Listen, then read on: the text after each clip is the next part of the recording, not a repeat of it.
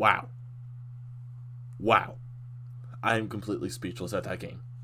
The Flyers beat the Boston Bruins, coming back down from 5 to 2 to win in a shootout by a score of 6 to 5. Travis Sanheim with two goals, Sean Couturier three points. David Krejci for the Bruins had two goals. The ending to that shootout was nothing you see every day. It was completely bizarre the way that shootout ended, and I'll get to that in a moment. So, j- just this entire game in general, that was a well deserved win by the Flyers. They fought back, they kept up with the Boston Bruins after everything that was going completely wrong for them early in this game. They go down 2 nothing. They got a power play goal in the first period by Kevin Hayes, and then just back and forth goals in the second period, but they still manage to keep it a 5 to 4 game coming out of 2. And the third period, it's just basically them trying to tie the game, and they managed to do that on a 4 on 4. A well deserved victory after, like I said, everything was just completely going down for them. C- completely just looking like it was going to go wrong. And that started off, like I said, two early goals by the Boston Bruins. It's Bjork and Krejci on a power play, making it 2 0. Bjork was off of a terrible turnover by Phil Myers. It was just bad. Bjork takes it right there and completely undresses Myers and Carter Hart. Carter Hart just got completely fooled on what Bjork was doing, and he was able to bury it into the open net. 1 0 Bruins. And then David Krejci on the power play. The Flyers were actually doing good on his penalty kill. It was just a big rush by the Bruins. They just got there on an odd man rush, and Krejci was just there to bang the puck home. Bing, bang, boom. It's 2 0 Boston. But then, going towards the end of this period, the Flyers do get on a power play. And take note, the Flyers' power play has been very, wait, put this, bad for a while. I think they're five for their last 33. The, the last time the Flyers scored on the power play was when they played Vegas, and I think at the beginning of the month. So yeah, it's it's been a while since the Flyers scored on the power play, and they've been going through different line combos, different ways to set things up. I think today the the lines were Giroux, it was Drew Hayes, connecting on the first line. Then you had Raffl, Couturier, Voracek on the second line. Then it was JVR, Laughton, Pitlick. And then on the fourth line, you have Farabee, Bunnaman, who was just recently called up as Kasha gets sent down. It's just okay. Just trying. I guess you're just trying to spark things at this point. So the offense, yes, has been sluggish as of late. So. I don't understand. Not that I don't understand. I don't. I don't blame Alain Vigneault for mixing it with the lines a little bit just to get something to spark up. And they do the same thing on the power play, and it's Travis Konecny. Uh, we actually score on this power play, so it's Travis Konecny from the point, passing it over to Kevin Hayes, who one times it past Yaroslav Halakin with a 2 1 Boston lead going after two. Well, after one, actually. And then the second period, it's just goals, goals, goals. Early on, it's David Pastrnak from a nice feed from Brad Marchand, just goes a little breakaway. Five hole pass Carter Hart, 3 1 Boston. And then not that much later, literally like, I would say a little over 40 seconds later, Travis Sanheim claps one, that doesn't clap one, he takes a wrist shot from the point, past Yaroslav Halak, 2 3 2 Boston. And then a little over three minutes later, it's Charlie Coyle making it a 4 2 Boston lead. And then David Krejci gets his second of the game a little bit later on, three minutes later, I would say, making it 5 2 Boston. And then that's when you hear the boo birds a little bit from the Flyers fans, the Flyers faithful. The Wells Fargo Center was it was it was energetic today because rival, it's Boston. What do you expect between a little Philadelphia and Boston rivalry right there? The Wells Fargo Center is going to be a little packed. And then you also got the Boston fans that are spread out through the arena cheering on their fans. So eh, get a little energy right there out of both crowds. But the Flyers fans bringing down the boo birds a little bit. But then the Flyers, a little bit of a, little bit of a, I would say a, I wouldn't say sloppy, maybe not a fluky goal, but it's Jake Voracek coming on a rush, gives it over to Sean Couturier, and he's just driving the net.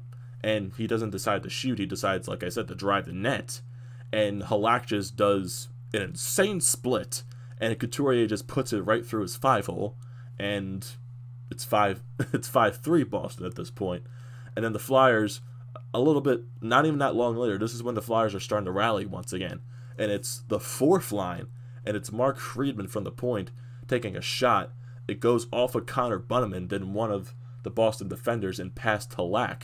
And that's Bunnaman's first goal in the National Hockey League. So congratulations to him. And it is a 5 4 Boston lead going into the third period. So we go into that third period and the Flyers are pushing. The Flyers, I would say I would say through the first for the first 10 to 15 minutes, they controlled the period. And then we go around a little over halfway into this period. The Flyers are getting chances through this point. Then we get in the halfway, and it's Joel Farabee and Tor- Torey Krug taking two roughing penalties, which makes it a four on four. And on this four on four, Phil Myers and Travis Sanheim go to work. They've been having, even though Sanheim scored earlier in this game, that that pairing has been struggling as of late. They've been turning the puck over a lot, especially in their own defensive zone. But on this four on four, they go to work offensively. Basically, basically a two man show at this point on the four on four. So you get Phil Myers driving the zone. Sanheim the same thing as well. Sanheim gets it on the net, but then he has to wrap it around. Goes off of Halak. You also got Couturier in front trying to jam it home, but the puck bounces behind Couturier, and Sanheim is there in the slot to bury it past Yaroslav Halak for a 5 5 game in the third period. And the Flyers still continue to get their chances, but Boston decides to wake up a little bit. They're starting to get the shots on Carter Hart after really not having much, many chances early on in the third period. They started to pile on. They decided to wake up a little bit late, but both goaltenders managed to keep the keep the uh, keep the pucks at bay at this point. So we go into overtime, and overtime, just the Flyers had their chances. Boston had their chances. Boston had some control early on. The Flyers had a, a little, I would say, breakaways. They had a sort of somewhat odd man rushes going the other way that didn't really turn into anything. Travis Konecny had a chance. Jake Voracek had some chances. Sean Couturier insanely late into the period. I think Ivan Provorov. It was Sean Couturier driving with like five seconds left. Drives the net he gets the puck on Yaroslav Halak and somehow manages to get it over to the left side where Provorov is there, and somehow this puck does not go in. I think Halak gets a little bit of a piece of it, and it goes above the net, off the netting, and, and overtime ends at this point. So we go to a shootout. Five rounds, nothing. Halak makes some saves. Hart makes some saves. Basically, both teams that haven't really been that good at the shootout this this season the Flyers have been more in a favor in shootouts rather than Boston. I think Boston going into this was 0, 0 for 6 in the shootout this season, the record wise. So Hayes misses, Pastrnak misses, Giroux almost beats Halak. He beats Halak, but he doesn't beat the post.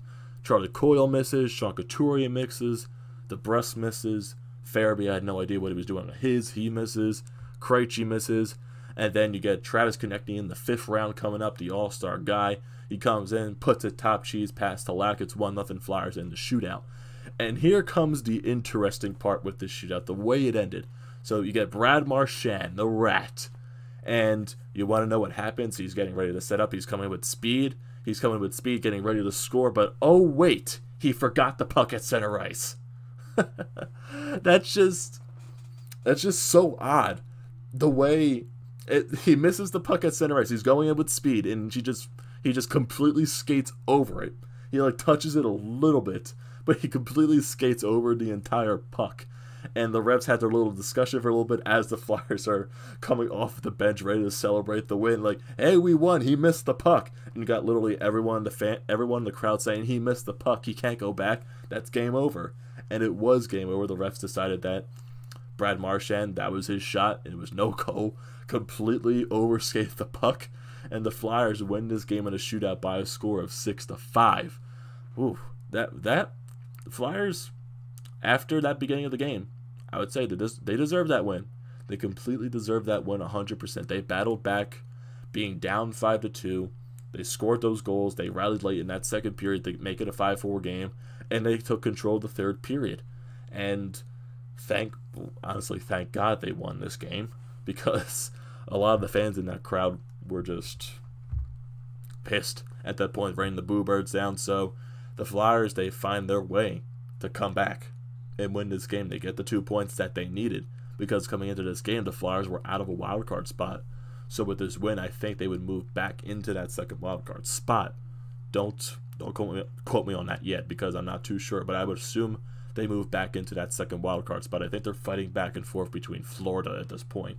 So with this, like I said, with the win, they possibly move back into that wild card spot. And then the Flyers, the the toughness just starts from here from Boston. Wednesday, Wednesday at eight o'clock, they go they go over and play the St. Louis Blues, the defending Stanley Cup champions, on their home ice. Yeah, the Blues are no joke. They're one of the best teams in the NHL. You you like you have that division of the good the, the elite teams to the good teams. The Blues are one of those elite Stanley Cup contender teams. They have been really good this season. You got, you got guys like Vladimir, even though Tarasenko has been injured most of the season. You got Alex Pietrangelo, Brayden Schenn's been playing good, Jaden Schwartz, and Jordan Binnington. Jordan Binnington has been is no joke. That team entirely is no joke. The Flyers have been borderline a bad team on the road, so they got to be prepared going to that game. Who knows? Who knows who's going to start in net? Because both goaltenders, I would say Elliott has a better a better record and better numbers than Hart on the road. But both goaltenders have been equally as bad. But I think Elliott has had more of the games where he stole the game for the Flyers on the road.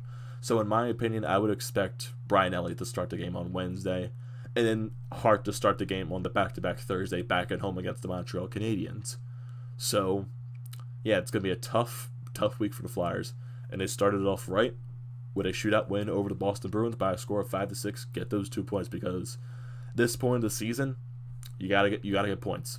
Basically, what it is, you have to get points, whether overtime, but the two points are honestly that's the what you gotta get two points. You just gotta get the points to move up into those standings. Just like I said, this road trip, well, not road trip. This this stretch this week can be tough.